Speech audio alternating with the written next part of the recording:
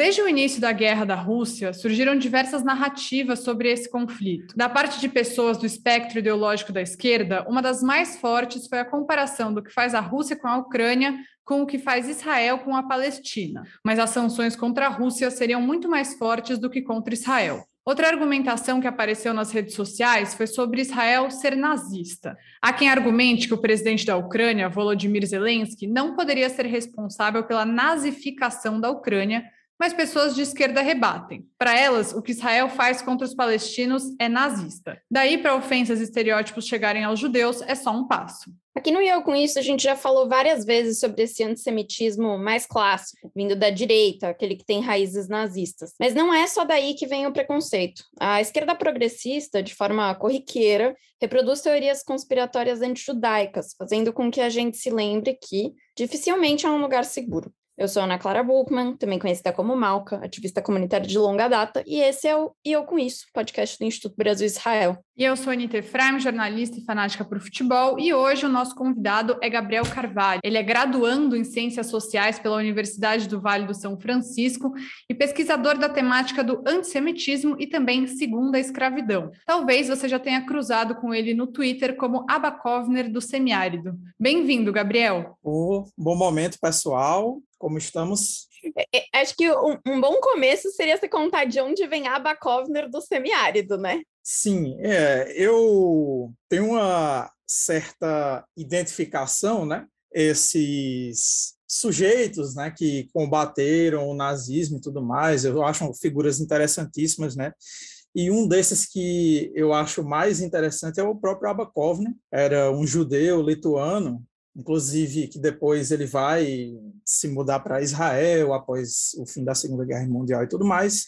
Mas o Abakovner, para quem não sabe, ele foi um guerrilheiro ali na, na época da Segunda Guerra Mundial, que lutou contra a ocupação nazista nos guetos, né, em, em, especificamente no gueto de Vilna, e ele tinha um plano é, bastante ousado né, de vingar a morte dos judeus que foram mortos no genocídio nazista. É, ele formou uma organização que era a organização Nakan, que em hebraico significa vingança, né? E eles iam basicamente fazer olho por olho, dente por dente com os alemães, digamos assim, né? Mas, obviamente que isso não deu certo, né? Por, por motivos óbvios, a gente não tem recurso, não tem nem comparação também da população alemã com a judaica, principalmente depois do, do genocídio nazista, né? Mas fica assim uma certa inspiração pela, pela, pela luta deles de, pegar em armas para se rebelar contra a ocupação nazista no leste europeu, né? E inclusive essa história do Abakovne ela foi romantizada, vamos dizer assim, um, num filme, né? Que é o filme Bastardos Inglórios, que é vagamente inspirado no grupo Nakan, né? Obviamente, extremamente vagamente, porque enfim, são dois destinos completamente diferentes. E eu considero assim ele uma figura extremamente fascinante e, e muito inspiradora assim, o, o. E também depois que eu vi o, o discurso dele no julgamento de Adolf Eichmann, foi assim uma coisa muito emocionante para mim. Eu acabei abraçando né, essa, essa identidade no, no Twitter.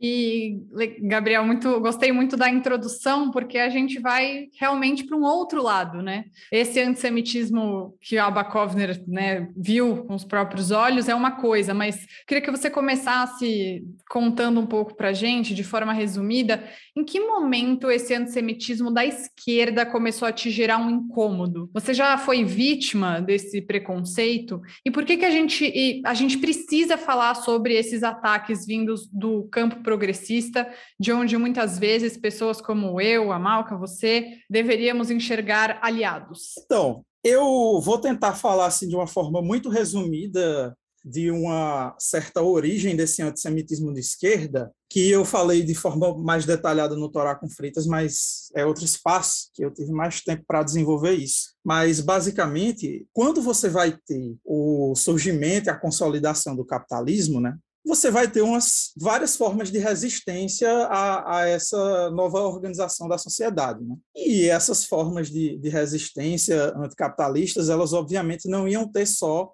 suas formações progressistas, vamos dizer assim.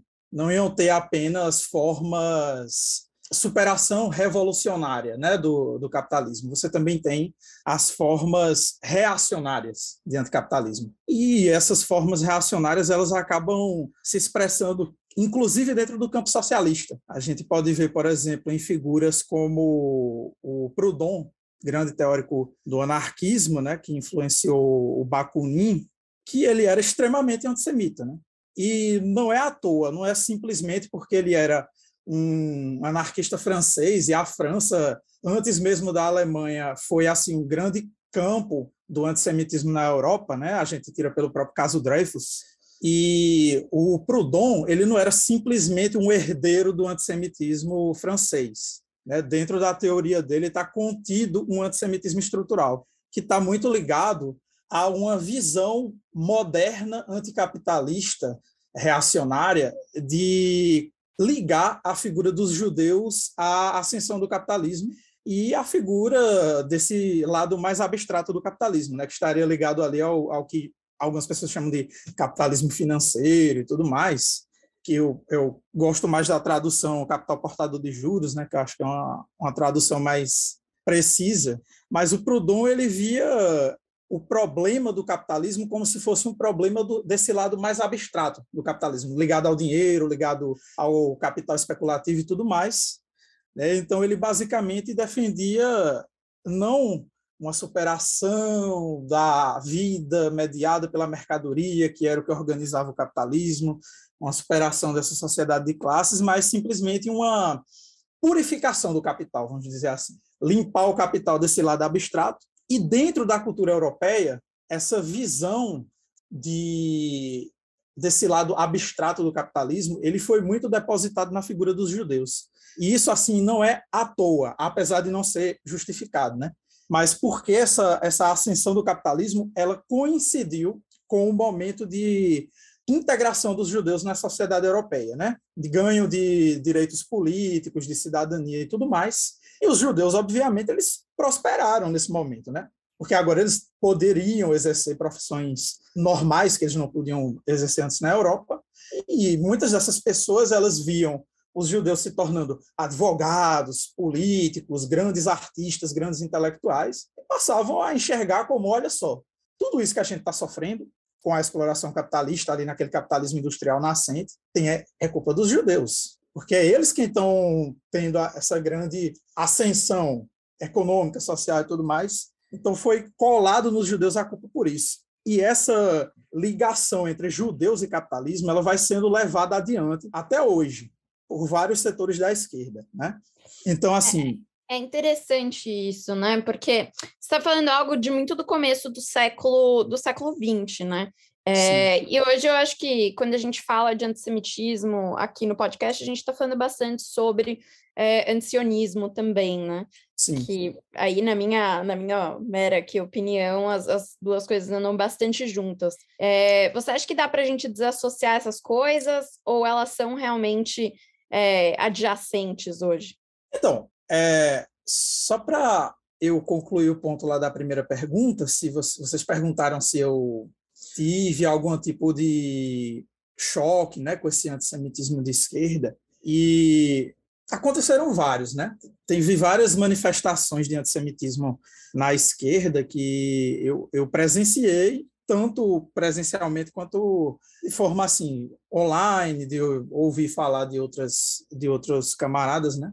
E é muito, está muito ligado a essa esse avanço desse pensamento antissemita de esquerda, que ele vai se, como eu posso dizer, se metamorfoseando dentro, dentro do pensamento socialista, e ele vai estar ligado a questões como, por exemplo, essa, essas falas sobre lobby sionista, né? Se fala tanto assim de lobby sionista, de tratar Israel como se fosse um Estado que qualquer tipo de traço de progressismo dentro da sociedade israelense fosse uma tentativa de cooptar a esquerda, como se fosse uma tentativa de fazer uma propaganda, né? como eles chamam de pinkwashing do, do Estado de Israel. Aquela coisa de sempre colar qualquer tipo de problema ligado ao, ao, capitalismo portador de juros a figuras judaicas, né? Ah, os banqueiros judeus, o Jorge Soros, blá blá blá. É, essa coisa do judaísmo internacional, eles não usam essa palavra, né? Fala de sionismo internacional. Porque sendo sionismo, a gente pode criticar que o sionismo é o, é o capeta, né? Para a esquerda. E fora outras questões, né, como ficar tratando é, todos os judeus como se fossem sionistas racistas que odeiam árabes. Teve também casos de manifestações de esquerda com conotações antissemitas, né, como a gente via manifestações de esquerda que iam fazer ah, manifestação a favor da causa palestina, aí ia fazer manifestação na frente do Banco Safra, é, ia fazer manifestação em Higienópolis, né? Esses tropos antissemitas de, de ligar os judeus a, a banco, a riqueza, aos bairros ricos e tudo mais. Isso é muito, está muito ligado principalmente às manifestações lá em São Paulo, né?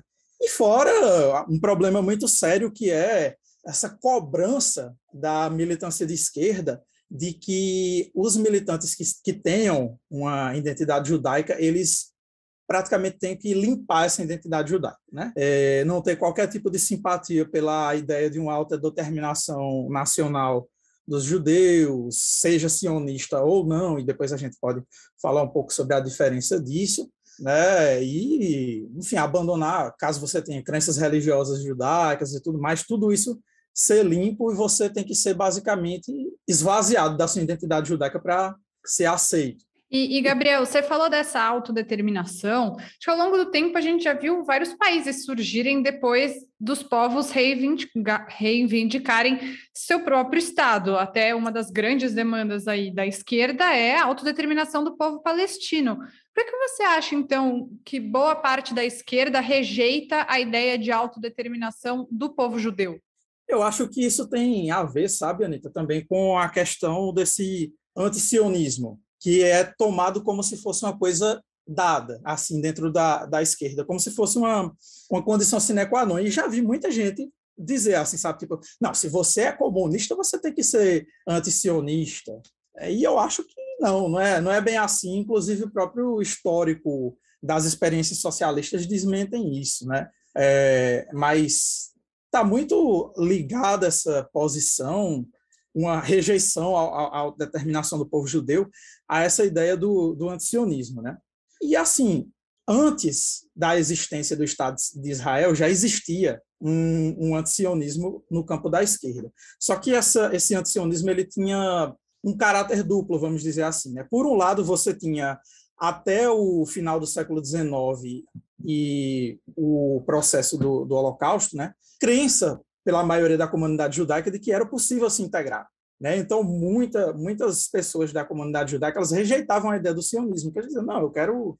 Não, eu, eu sou judeu, mas eu também sou alemão, eu sou francês, eu sou russo, blá, blá, blá, e eu quero me integrar nessa sociedade. Né? Mas aí, quando acontece todo o crescimento do antissemitismo europeu, ali no final do século XIX até o processo do Holocausto, né? o sionismo ele vai se popularizando. E essa reafirmação do internacionalismo, que é esse outro lado do antisionismo, ele está muito ligado justamente àquela, àquela velha palavra de ordem né, do, do comunismo, né? proletariados do mundo unidos. A gente, antes de ser é, de qualquer nação, a gente é de uma classe, né? a classe proletária explorada pelos capitalistas e tudo mais. Então, esse nacionalismo seria visto como um entrave para a solidariedade de classe. E, de certa maneira, é. Né? A gente vê nas relações entre algumas nações em guerra, nações que oprimem outras nações, que isso realmente é um entrave para a solidariedade de classe, né? Mas esse antisionismo, ele deixa de ser uma discussão sobre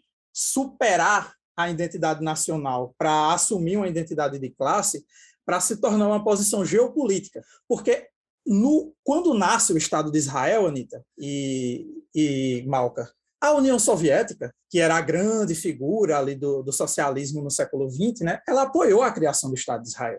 E, inclusive, os judeus soviéticos aplaudiram de pé a Golda Meir quando ela foi falar lá na União Soviética e tudo mais, porque eles tinham essa noção né, do, de um nacionalismo judaico e tudo mais, né, e muitos, inclusive, fizeram aliar quando o Estado de Israel foi, foi criado. Mas, quando a União Soviética ela vê que ela não vai conseguir levar o Estado de Israel para dentro do seu campo geopolítico, né, que ela está se aproximando é, dos Estados Unidos, que o Estado de Israel está se aproximando dos Estados Unidos, ele passa a assumir o lado oposto, né, que era o lado do nacionalismo árabe, que estava ali lutando contra a ocupação do território palestino.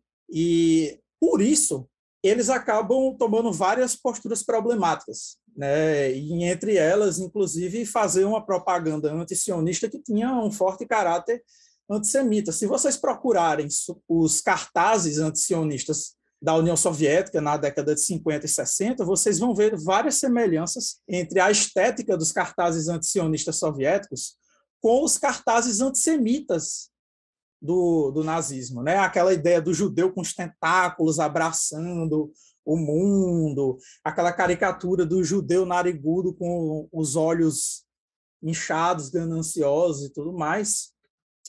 E essa rejeição, ela está muito ligada a uma visão dos judeus, não como se eles fossem um povo que tem uma existência milenar, como a gente bem sabe, mas como se tivesse sido um povo criado, né? Criado no século XIX, uma identidade nacional criada no século um XIX. artificial, né?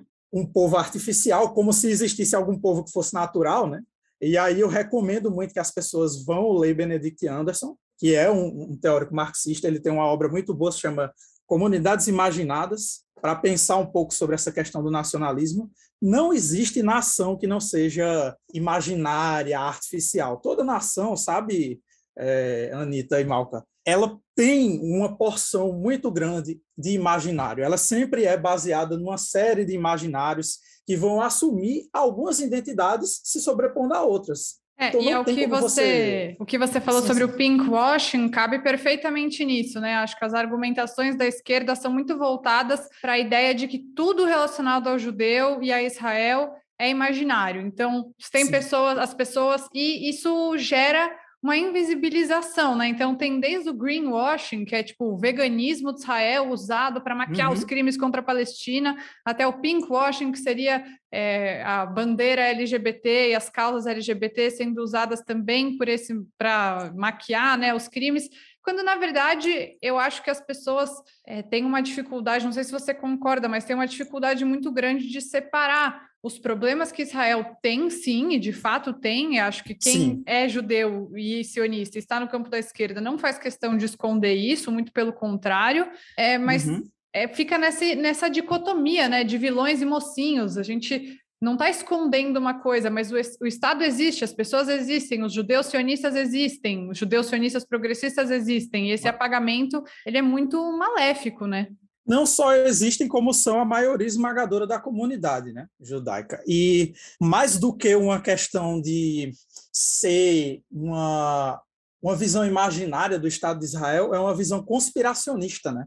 É, além de ser uma visão conspiracionista que por si só tem uma conotação antissemita, porque o antissemitismo ele é profundamente baseado numa visão conspiracionista da comunidade judaica, ela é uma visão que simplesmente apaga a agência dos judeus israelenses, né? Parece até que tudo é um grande complô, uma grande conspiração do Estado de Israel para aparecer como um Estado progressista, e não que essas causas LGBT, feminista, inclusive causas é, raciais, porque a gente tem, por exemplo, ali no Estado de Israel, uma comunidade negra, que são dos judeus etíopes, né, os judeus de etnia Mizraim, que eles constroem um movimento negro no Estado de Israel. E tudo isso é apagado, toda essa luta que é construída a despeito da parcela mais conservadora da comunidade israelense, né? E tudo se torna um grande complô, uma grande conspiração, como se não fosse possível para os judeus israelenses serem tão militantes quanto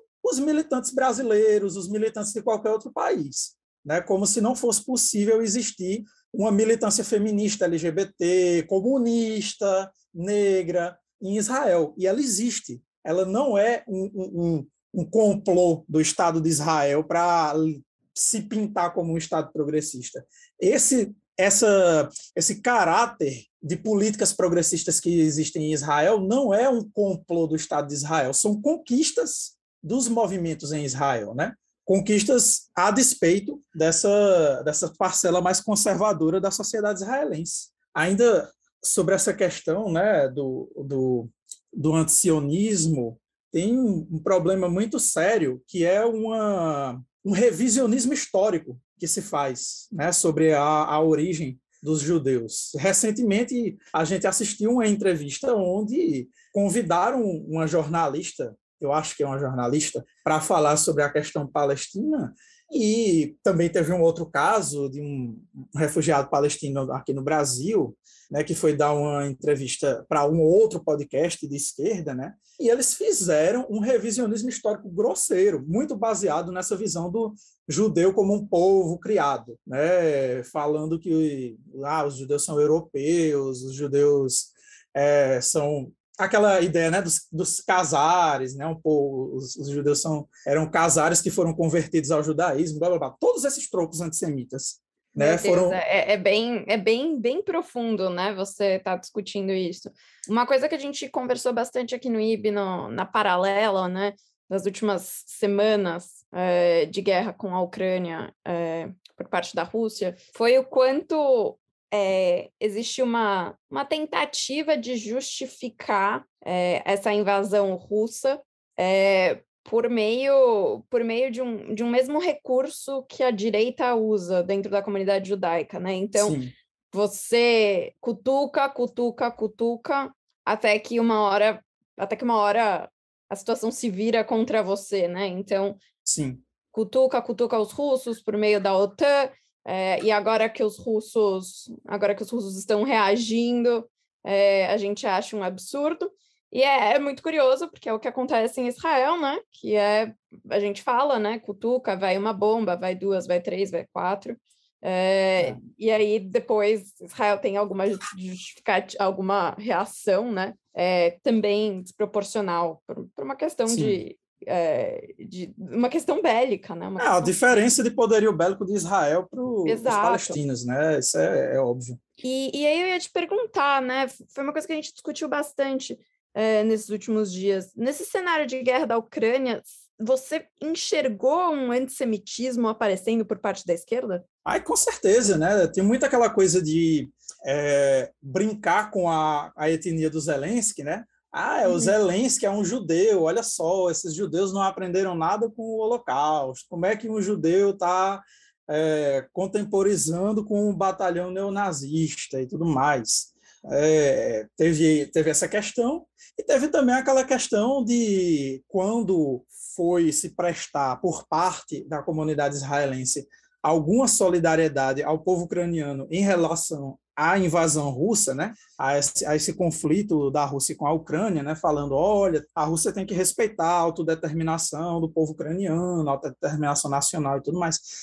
Aí eles falam, né, ha, Israel falando de autodeterminação, ah, Israel não existe, ah, porque não sei o que lá, tudo, é tudo palestino, blá, blá, blá. Teve muita essa, essa reação, né, é, e eu logo imaginei, né? Na hora que me falaram, olha só, tem um presidente judeu na Ucrânia, eu já falei, ih, rapaz, lá vem merda, né? E não deu outra, né? É, é muito instrumentalizada essa, essa etnia judaica do Zelensky, tanto por parte das pessoas que estão defendendo incondicionalmente a Ucrânia, né, quanto pelas pessoas que estão atacando o, o, o, Zelensky, né? Por um lado, tem pessoas que estão usando a identidade judaica do Zelensky para dizer que não, que não tem nenhum tipo de é, problema com extrema-direita na Ucrânia, que é uma baboseira, que a gente sabe que a extrema-direita ela tem ela tem um lugar nas forças armadas ucranianas, né? O pessoal fala, ah, mas olha só, essa galera da extrema direita de lá não conseguiu ganhar nas eleições. Gente, a extrema direita, principalmente essa extrema direita neonazista, fascistizada, o central para eles não é ganhar a eleição. Só que a Rússia dizer que está entrando na Ucrânia para desnazificar é uma baboseira, porque ela não está dando conta nem dos neonazistas da Rússia, vai querer limpar o quintal dos outros, né? Isso é uma besteira sem tamanho. E um né? outro lado, né, Gabriel, foi, é, tipo, você falou agora da Ucrânia, mas outro lado foi da Rússia, né? As, essas comparações, tipo, a Rússia foi, não pode participar da Copa do Mundo, mas Israel pode Sim. participar de não sei o quê. Teve bastante Sim. essa comparação, né? Que como você vê é. isso? Ah, eu, eu acho uma groselha sem tamanho, assim, sabe, Anitta? Porque Olha, isso, isso para mim é um ponto central na minha oposição ao antisionismo. Veja, eu eu sou comunista, sabe, Anta? Para mim, eu sou assim, acima de tudo, eu sou uma pessoa internacionalista. Eu acho que a gente tem que superar essas contradições que impedem a união da, da classe trabalhadora, e eu penso que um certo patriotismo, nacionalismo, ele acaba sendo um entrave para isso. Mas, por outro lado, eu reconheço que povos que vivem em diáspora, povos que são perseguidos, etnicamente, como os povos negros, os povos árabes, os povos judeus, passo da autodeterminação nacional, ele acaba sendo um passo que não tem como escapar. Né? Eu acho que isso é uma coisa, inclusive, que a, própria a Hannah Arendt fala sobre isso. E um teórico, esse já é um teórico marxista, que eu me inspiro muito, que é o Moisés Postone,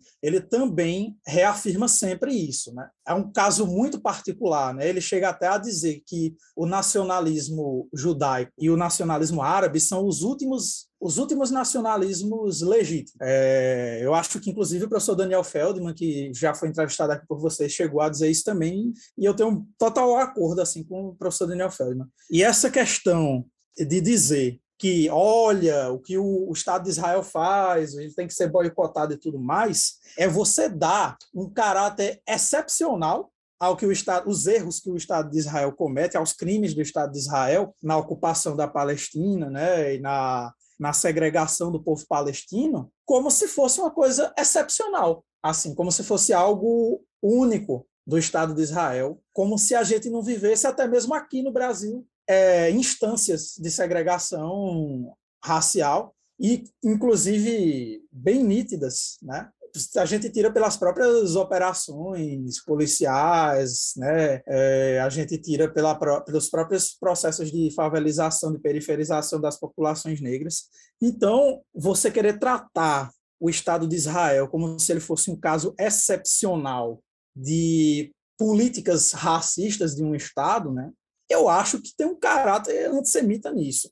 Não que todas as críticas ao Estado de Israel sejam antissemitas, mas você pode cair muito fácil numa posição antissemita quando você nega o direito do povo judeu a ter a sua autodeterminação nacional. Quando você entra nessa seara de dizer que o povo judeu não tem o direito à sua autodeterminação nacional, que foi uma coisa que a gente falou no começo aqui da nossa conversa, aí eu acho que você já está caindo, sim, numa posição que é essencialmente antissemita. Né? Não, não dá para se esconder atrás da causa palestina quando você toma essa posição de rejeição da, da autodeterminação judaica, né? E aí um tema que a gente debate bastante aqui, né, que é que o problema aqui, acho que talvez um, o desafio de ser judeu e brasileiro é também a esquerda local, né? Sim. Como que você vê esse cenário de intolerância contra os judeus por parte da esquerda brasileira? E que forma você acha que o bolsonarismo talvez intensificou isso? Olha, tem muito a ver, sabe, essa. Como é que eu posso dizer? Eu, eu, eu falei recentemente lá no Twitter, né, que os judeus, os militantes judeus, eles são os leprosos da esquerda, né? São tratados assim como um povo que você não pode, não pode dar a mão, senão eles vão querer o braço. Basicamente é isso. A gente tem que aceitar os judeus, mas não muito, porque senão daqui a pouco eles vão estar tá querendo nos cooptar para a sua pauta sionista e blá, blá, blá, blá. Essa, toda essa, essa baboseira. Então, assim, é, tem muito a ver com essa cobrança da esquerda de que a gente abra mão da nossa identidade judaica para poder ser aceito nessa, nessa militância. E isso, obviamente, vai cair dentro da, dessa questão do antisionismo e isso vai ter implicações antissemitas que a gente já falou aqui. Né? O, o, militante judeu na esquerda brasileira ele é sempre visto com uma certa desconfiança, né? a não ser que ele abandone completamente a sua identidade judaica e só, só deixe ela ser usada como token. Né? Token, para quem não sabe, assim, é para ser usado como um espantalho. É, eu acho interessante que, chutando bem baixo assim, a maioria esmagadora da comunidade judaica é sionista. E a esquerda só quer dialogar com os judeus que são anti-sionistas, que são uma minoria absoluta dentro da comunidade judaica. E não só eles só querem dialogar com os que não são sionistas, como eles só querem dialogar com os que são anti-sionistas e que são virulentamente anti-sionistas, a um ponto em que chega a ser antissemita. É, a gente, eu acho que o exemplo mais claro disso é a instrumentalização de grupos extremamente fundamentalistas e extremistas, como, por exemplo, o Neturei Carta. A esquerda adora pegar imagens do Neturei Carta fazendo manifestação pró-Palestina, queimando a bandeira Essa é a minoria da minoria da minoria, né? Exatamente. Né? Eles são minorias, inclusive, entre os, os, os antisionistas. E mesmo, assim, sendo, eu... mesmo sendo tão poucos, é o que você falou, né? Servem nesse token. Ah, mas tem até judeu que não quer o Estado de Israel, por que, que eu tenho que querer também? Até nem eles querem, eles são ortodoxos. Aí vira, eles são mais judeus que os outros judeus e nem Sim. querem o Estado de Israel. Essa argumentação maravilhosa, né? Mas sabe o que é o pior, Anitta? É porque o Neturei Carta ele é extremamente problemático. Tem, tem, tem várias coisas assim, é, vários problemas nessa tokenização, nessa instrumentalização de grupos como o Neturei Carta, mas eu vou me, me, focar especificamente nele, porque a esquerda adora usar eles como token. A posição anti-sionista do Neturei Carta não tem muito a ver com, com a causa palestina. É uma interpretação ultra sectária das escrituras sagradas judaicas e por causa dessa leitura ultrasectária, eles têm várias posições complicadas, como, por exemplo, eles são eles têm posições revisionistas do, do Holocausto, que chegam a ser quase negacionistas. Eles tratam o Holocausto como se fosse um castigo de Deus pelos judeus terem criado o sionismo. Porque não, vocês não podem querer ter um país aqui na Terra, tem que esperar o Moshia e tudo mais, né? Ou seja, a posição deles não tem tem muito a ver com o sofrimento do, do povo palestino. Né? E aí, por isso, por essas posições, inclusive antissemitas dele, eu acho extremamente problemático a, a esquerda estar tá usando eles como token. Né? Aí, para responder a última questão que vocês fizeram sobre como o bolsonarismo acentua isso, eu penso que o principal problema é que o bolsonarismo, por ele instrumentalizar o sionismo através de uma posição de um sionismo evangélico, vamos dizer assim, né, que de, de sionista não tem nada, é inclusive um sionismo antissemita, e já já eu digo por quê, uma porção de direita mais conservadora da comunidade judaica tomou o lado do bolsonarismo por achar que ele iria ser amigo de Israel e blá blá blá. Toda essa besteira que a gente sabe que não tem nada disso. É, é uma instrumentalização do, do Estado de Israel para puxar os evangélicos, não os judeus. Os judeus vêm de, de bônus para o Bolsonaro, né? E por conta dessa filiação ao, ao sionismo evangélico do Bolsonaro, né, isso provocou uma fratura dentro da comunidade judaica, que foi assim. Eu concordo muito com o professor Michel German quando ele disse que isso mudou completamente a, a, a face da comunidade judaica no Brasil, porque foi uma ruptura muito muito forte dentro da comunidade. E traumática. E traumática, extremamente... pessoais, traumática. Exatamente, extremamente traumática, sabe? Porque simplesmente essa, essa parcela bolsonarista, ela abraça esse sionismo evangélico e trata os judeus de esquerda como se eles não fossem judeus, como se ser judeu fosse algo, como se a judeidade fosse essencialmente de direita, conservadora, e até vou aproveitar falar, enfim, um pouco em nome da Malca também, em nome da Amanda, em nome do IB. Esse é o ataque mais comum que a gente sofre, sabe? De tipo. Eu percebi. Como é que vocês se acham judeus se vocês não defendem Israel, se vocês falam mal de Israel? Teve um episódio recente do podcast que eu e a Malca, nossa senhora, chincalhadas por homens, é, sei lá, cinquentões da comunidade que acharam que porque a gente trouxe, não porque a gente falou, porque a gente trouxe pessoas do contraditório, a gente não honrava, né, que nós somos do Instituto Brasil-Israel, enfim, e aí eu acho que ser judeu e progressista no Brasil hoje é como você tá num não lugar. Você é progressista demais para se encaixar na comunidade judaica e judeu demais para se sentir à vontade no campo progressista. Uhum. Não sei se a Malca também quer compartilhar um pouco, né, essa, essa questão, esses traumas que a gente tem vivido, e depois ouvir você, Gabriel, se você também se sente nesse limbo. Eu acho que a gente, a gente vive isso o tempo todo, né? E, e é muito engraçado como rola talvez até uma falta de maturidade, de um conhecimento mais crítico dentro da comunidade judaica para ser capaz, né, de, de separar essas coisas. É, é, é, muito curioso, porque é, é, é, meio triste, né, o que você está falando de a gente não tá... A gente é muito judeu para estar na, na, na, esquerda, né? Porque isso, isso é tão real, né? Aquele, eu acho que isso fala tanto sobre o desconforto judaico no mundo ao longo dos... ao passar dos anos, sabe? É, e, e, e, é, e é engraçado, porque para mim foi ter me mudado para os Estados Unidos agora foi uma, foi uma visão muito diferente de comunidade. Eu me sentia um pouco. Eu me sentia um, um peixinho num lago muito pequeno, né? Uhum. É, e agora eu consigo entender um pouco que aqui eu consigo até encontrar muito mais gente que tem as mesmas opiniões do que eu. Então é um processo bem interessante esse. E sabe o que é o mais engraçado? É que a esquerda nos Estados Unidos ela tem uma posição sobre o sionismo que ela consegue ser ainda mais rebaixada e ainda mais mal informada do que na esquerda brasileira.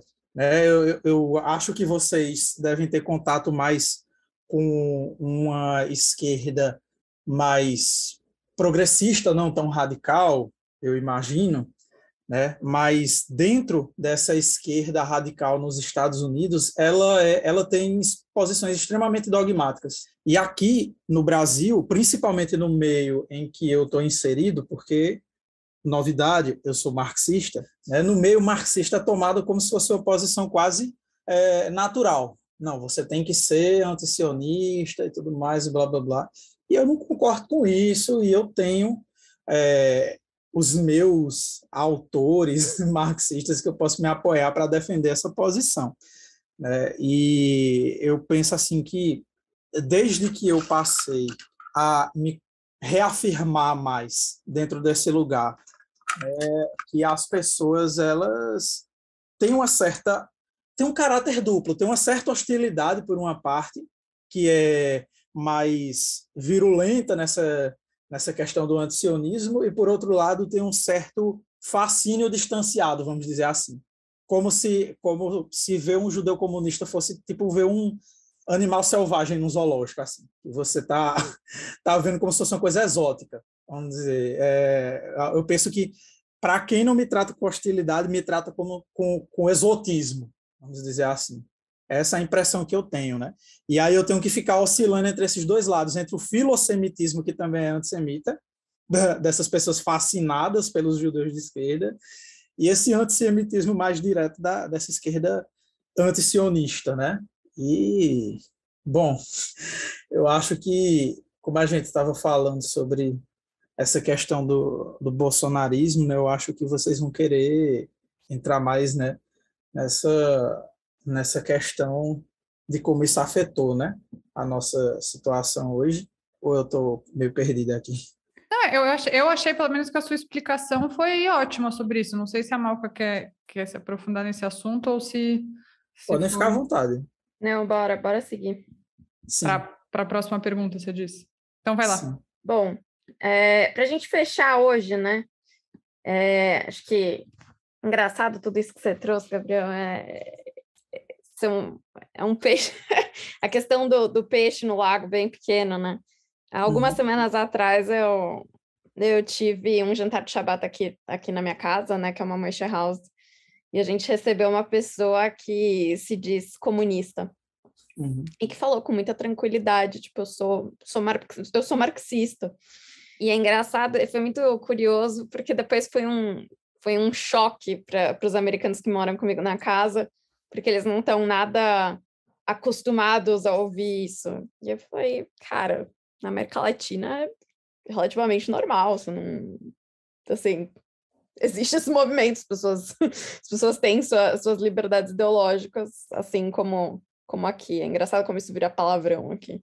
Uhum. É, mas a minha pergunta é, né? Qual que é a importância da gente reverter essa situação e criar espaços que a gente pode aliar ser judeu e ser progressista? Eu acho que a primeira grande importância disso é para que a esquerda ela primeiro aprenda a falar com os judeus, né? Porque isso é uma coisa que o, o professor Michel German sempre fala, né? Que essa esquerda antisionista, tão bem quanto essa extrema-direita filosemita, sionista evangélica, né? Ela só consegue dialogar com os judeus mortos. É uma frase que ele disse que eu acho muito interessante, que é essa coisa de sempre acionar as vítimas do Holocausto, ou, ou então acionar o judeu imaginário, né? Mas os judeus vivos realmente existentes não têm diálogo. Né? É, e eu vejo isso muito representado na forma como a esquerda trata os militantes judeus, né? Sempre aquela coisa de estar tá cobrando os judeus pelo que aconteceu no clube hebraica. É sempre essa história. Eu acho interessante como a esquerda brasileira ela está sempre mais disposta a abrir mão de suas pautas progressistas para não melindrar conservadores cristãos. E eu acho que vendo como está se construindo a campanha do Lula, a gente consegue perceber bem isso, do que abraçar os judeus que são progressistas, mas que acreditam na legitimidade do Estado de Israel, né, que tem uma identidade judaica bem afirmada e tudo mais. Então, assim, eu penso que a importância se dá porque, por mais que o antissemitismo ele ocupe espaço em todo o espectro político, e é todo mesmo, porque as pessoas tendem a dizer: ah, o antissemitismo está nos dois extremos. Não, não está nos dois extremos. Ele está em todo o espectro político. Ele não está só na esquerda radical e na extrema direita. Ele também está na esquerda liberal, na direita liberal, no centro. Está em todo o espectro político. O antissemitismo é estrutural na sociedade moderna. É, mas eu acho que não tem uma saída para o antissemitismo dentro da, do espectro de direita. Isso é minha visão como como comunista. Eu não, eu não penso que a direita tenha um projeto de emancipação humana que eu considero ser imprescindível para superar o antissemitismo.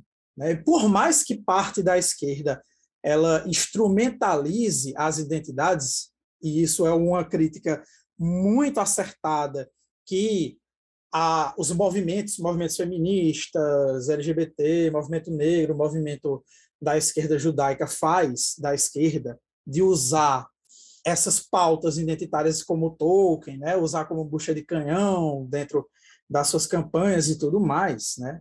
Eu penso que só dentro do campo da esquerda que existe uma posição radicalmente humanista, que, a meu ver, está representada pelo comunismo marxista, mas a gente pode discutir isso entre socialistas, e que é o que pode nos ajudar a superar o antissemitismo.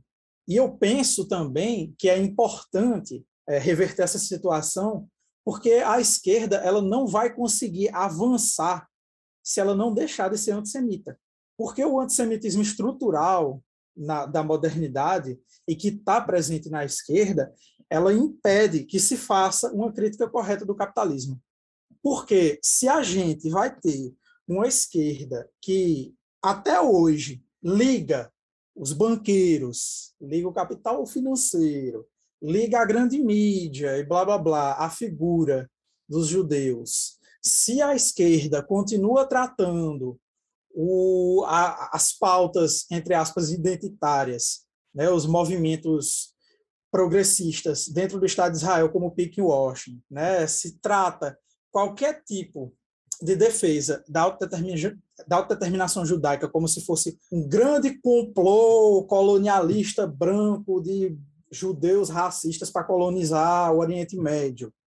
Não vai se conseguir fazer a crítica radical necessária ao capitalismo, porque você vai estar deslocando o verdadeiro, a verdadeira raiz dos problemas do capitalismo.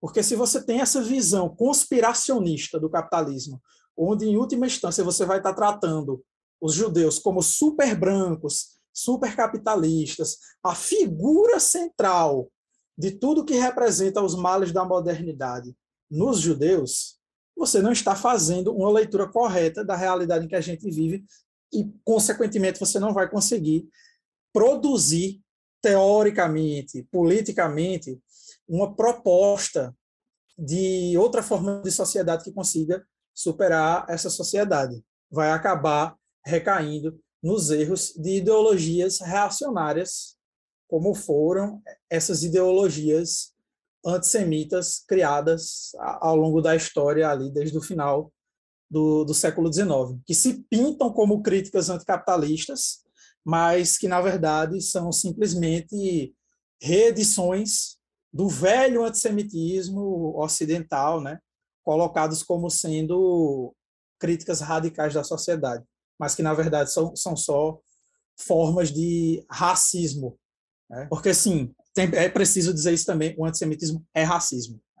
Gabriel, acho que fica uma baita aula, né? E um monte de reflexões para a gente, para as pessoas que são progressistas e acompanham a gente. Eu, particularmente, rememorei ao longo da sua fala, dessa sua última fala, diversos episódios, até um colega de TV falando que o monarca só foi punido quando falou dos judeus porque os judeus são ricos, ou quando é, empresários judeus têm sempre a sua religião relembrada na hora de fazer a crítica, quando outros empresários que ninguém sabe a religião, ninguém sabe a religião, porque só sabe quando são judeus, críticas que são é, muito comuns na esquerda. Então, acho que para todo mundo que acompanhou a gente hoje, ficou uma baita, uma baita reflexão e um alerta ligado né, para a gente identificar quando o antissemitismo está ali vindo do nosso aliado, ou de quem deveria ser o nosso aliado e acaba sendo, na verdade, mais um algoz, digamos assim. Não querendo colocar os judeus numa posição de coitadismo, muito longe disso, mas acho que é, no lugar que a gente está, a gente também precisa alertar quando certas, certos comentários são sim antissemitas, né? Sem falar desse negócio da hebraica que, pelo amor de Deus, ninguém aguenta mais ouvir falar sobre esse negócio. Quantas vezes a gente vai ter que repetir que tinham mais judeus do lado de fora protestando contra a presença do Bolsonaro do que do lado de dentro aplaudindo ele? Né? Infelizmente, nunca, né? Boa. Muito obrigada, Gabriela. Até uma próxima. Ah, eu que agradeço, gente. É, lembrando que a gente conversou com Gabriel Carvalho, que ele é graduando em Ciências Sociais pela Universidade do Vale de São Francisco, pesquisador da temática do antissemitismo, e você pode seguir ele no Twitter como Abakovner do Semiárido. Ou também lugar tranquilo, né? As duas opções. E é, lembrando para você que o Eu Com Isso está em diversas plataformas de áudio, como Spotify, Orelo, Apple Podcasts, Google Podcasts e também no canal do YouTube do Instituto Brasil Israel. E não esquece de seguir o IB nas redes sociais. Gabriel, volte sempre.